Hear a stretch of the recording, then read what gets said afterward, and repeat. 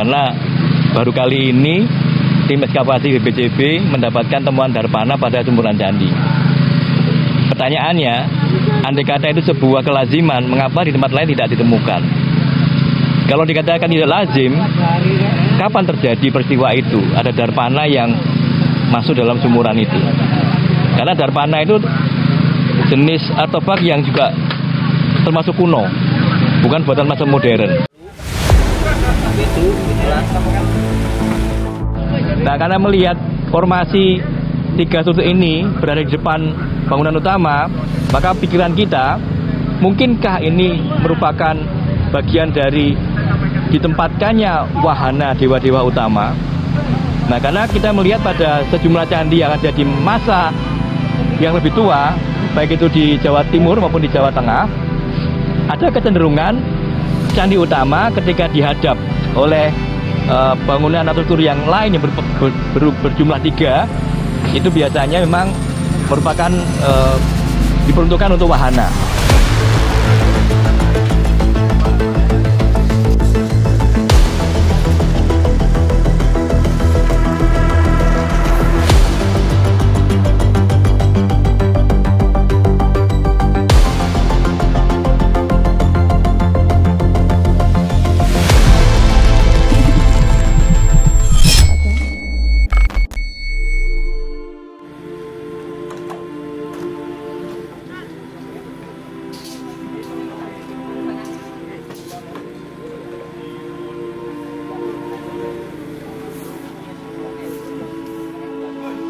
Ekskavasi tahap 2 situs Gemean selama enam hari mendapatkan sejumlah temuan penting.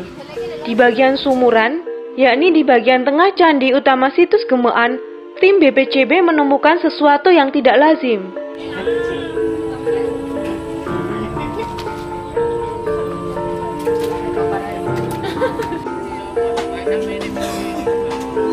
Ada itu loh.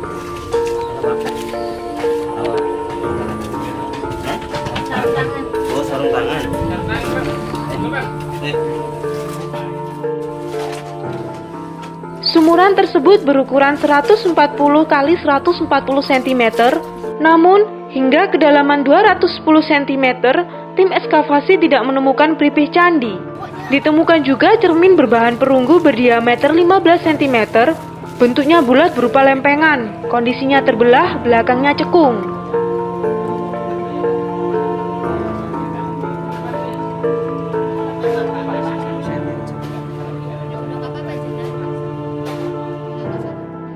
Temuan artefak di sumur Candi Gemean Mojokerto menarik untuk dikaji. Ada temuan tak lazim berupa cermin berbahan perunggu atau darpana. Selain itu, banyak pecahan bata di dalam sumuran. Jadi pada ekskavasi situs Gemekan tahap 2 ini ada sejumlah temuan yang menarik dan itu menjadi bahan kajian kita di waktu yang akan datang untuk lebih mengungkap secara maksimal keberadaan dari situs Gemekan ini. Saya tidak e, merunut satu persatu ya, tapi saya rangkum saja bahwa temuan yang menjadi salah satu bagian penting untuk deskripsi atau narasi dari Gemekan itu antara lain yang kita peroleh dari sumuran. Satu sisi memang temuan itu membawa kita pada sebuah pemahaman yang lebih luas sekaligus juga menjadi PR saya berikan gambaran antara lain bahwa temuan-temuan uh, yang ada di sumuran itu misalnya ada uh, temuan berupa uh, apa, artefak dari bahan perunggu yang ternyata ada dua keping ini merupakan satu kesatuan yang disebut sebagai uh, cermin atau darpana. Dari temuan itu kita berpikir apakah lazim darpana itu memang ditempatkan pada sumuran candi? Karena baru kali ini tim ekskavasi BPCB mendapatkan temuan darpana pada sumuran candi. Pertanyaannya andai kata itu sebuah kelaziman mengapa di tempat lain tidak ditemukan? Kalau dikatakan tidak lazim kapan terjadi peristiwa itu? Ada darpana yang masuk dalam sumuran itu. Karena darpana itu jenis artefak yang juga termasuk kuno, bukan buatan masa modern. Jadi ini ini hal menarik yang pertama. Yang kedua bahwa sumuran itu dari sisi apa, uh, lapisan tanahnya yang kita angkat ke atas itu sudah bukan lagi merupakan tanah biasa, tapi dengan melakukan pencucian pada tanah itu kita tahu bahwa itu merupakan uh, banyak material yang berasal dari bata yang hancur. Nah ini menjadi pertanyaan, mengapa bata-bata yang hancur itu bisa masuk atau berada dalam sumuran itu. Ya, di samping juga ada campuran tanahnya sendiri. Ini menjadi apa yang harus kita kasih? Apakah ada hubungannya dengan proses uh, pengrusakan sumuran itu? Karena kita tahu dari struktur yang kita ekskavasi ini di bagian barat laut itu jelas sekali ada pengrusakan sampai pada uh, dinding sumuran sisi timur laut sendiri.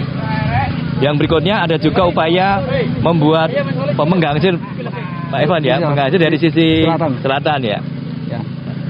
Apa sudah sampai di tengah lubangnya itu yang selatan? Uh, sebenarnya tembus Pak. Tembus ya. Nah, tembus. kalau tembus artinya ini menjadi apa ya hal yang kita perlu pertimbangkan. Mengapa ada tanah yang tidak lazim pada sumuran itu? Assalamualaikum.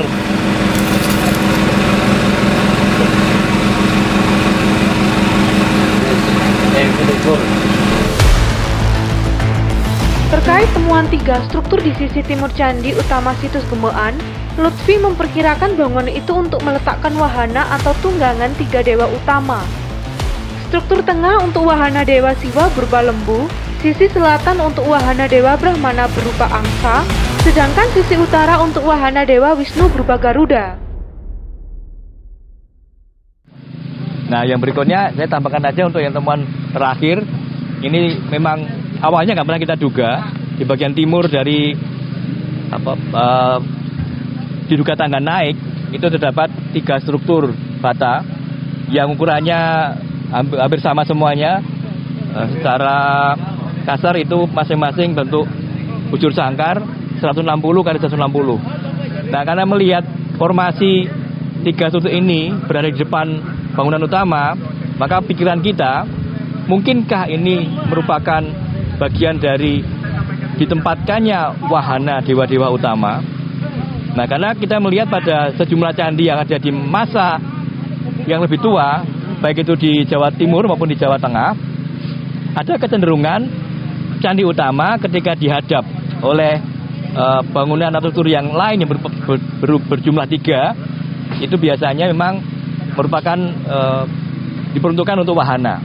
Yang tengah itu untuk wahana dewa siwa berupa nandi, nandi atau lembu. Kemudian yang selatan itu kemungkinan untuk apa dewa eh, Brahma biasanya berisi kalau di candi lain itu ber, ber, berisi angsa. Kemudian yang di utara itu untuk dewa Wisnu biasanya berisi Garuda. Nah ini, ini dugaan kita, dugaan. Karena kita belum mendapatkan data konkretnya. Kita hanya berangkat dari apa analogi.